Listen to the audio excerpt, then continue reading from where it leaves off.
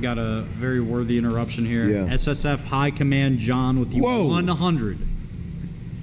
Damn. Hey, thank you for the you. bones there. He says, "Hey Thanks so there, much. Sammy. About to come into some settlement money, and I was wondering what you think I should invest in. I saw some vans for sale cheap. Thinking about starting a cleaning company or maybe going to pilot school. I'm interested in your opinion on what to do with this money." I've said this before. I'll say it again. If you come into if you if you've never had money and you suddenly have money, uh, set it aside and just make sure you don't blow it on anything until you know how to make money. How to make money, because if you've never started a business, if you've never lost a huge amount of money, you don't you don't know how quickly the costs add up, or how uh, and, and also just a loss is way worse than a gain. Uh, if you lose ninety percent, if you gain ninety percent, that's not really a big deal. Like you almost doubled your money, but whatever. If you lose ninety percent, you're just you're wiped out. Yeah. You lost nine tenths of your money. You have from there you have to go you have to 10x from there to get back to, to get back to the start. So a loss is way worse. Losing money is, is terrible. So don't lose money. Don't waste it. Set it aside until you know what you're doing, until you figure something out. Um, you could even set a date, like say you're not going to touch it for five years, and then just live the, your, your life for the next five years in a more focused way, thinking about what you could do with that money. Um, all my all my shit is in Bitcoin. All your shit is in silver. Do you got any points for that? Um, yeah, but I don't. I don't.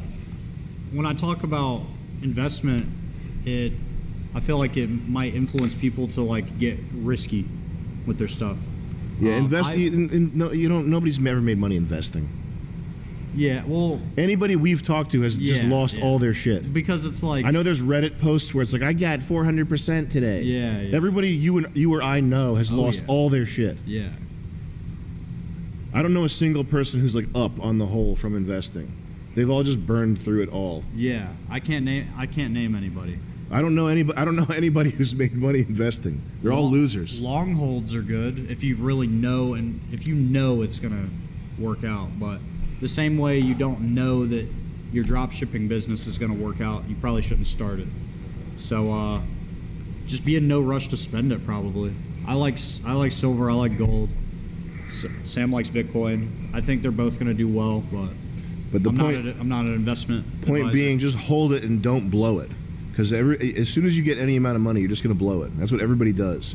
And, and it- it's especially dangerous when you don't when the money came to you from ex, some external source through, through happenstance or through some windfall that you didn't necessarily earn. Then your like psychological value of that money is not tied to it in the same way as if you built it up yourself, and you're more apt to, to blow through it uh, with the feeling of, the, of no consequences for that reason.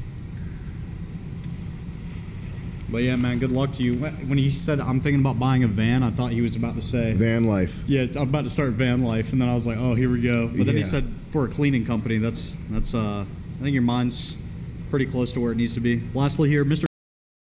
Uh, check out Hobo Joe four two one. Thank you, thank you, thank you, Big Smitty. Thank you for the recommendations out here. Free Alpha.